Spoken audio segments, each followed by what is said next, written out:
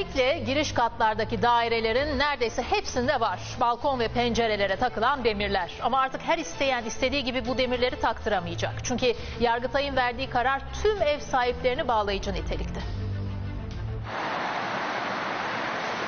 Hırsızlardan korunmak için yaptırılıyor ama hırsızlar için üst katlara yol oluyor. Yargıtay emsal bir karar verdi. İsteyen komşusunun demirlerini söktürebilecek.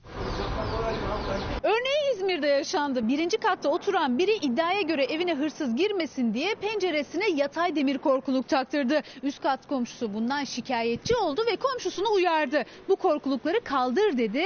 Komşusu kaldırmayınca da mahkemenin yolunu tuttu. Üst kat komşu daha önce aynı şekilde başka dairelere hırsız girdiğini ve huzuru bozulduğu için uyuyamadığını öne sürdü.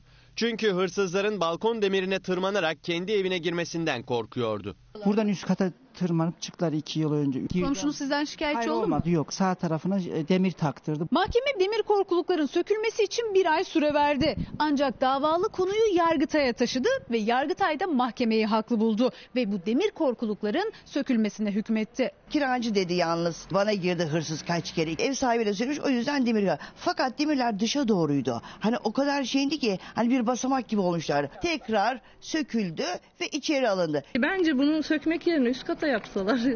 Tedbiri öyle alsaydılar daha mantıklı değil miydi?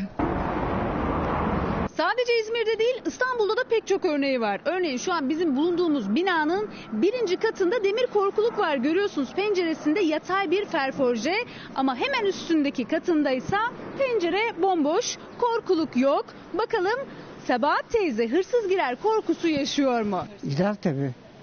Oradan çıkar girer. Balkonuna demir korkuluk taktıran alt kat komşusundan şikayetçi olan aslında çok sayıda kişi var ancak komşuluk ilişkileri zedelenmesin diye kimse kolay kolay komşusunu şikayet etmek istemiyor. demirlerin sökülmesinde fayda var. Yani o basamaklara basar hırsız bana da girebilir. Yani Siz şikayetçi oldunuz mu efendim alt kat komşunuzdan? e, mahkemelik olmadım ama ihtar ettim. Bu sefer iç kısmı aldı böyle. Komşuluk var diye artık ses çıkarmıyoruz yapılmış.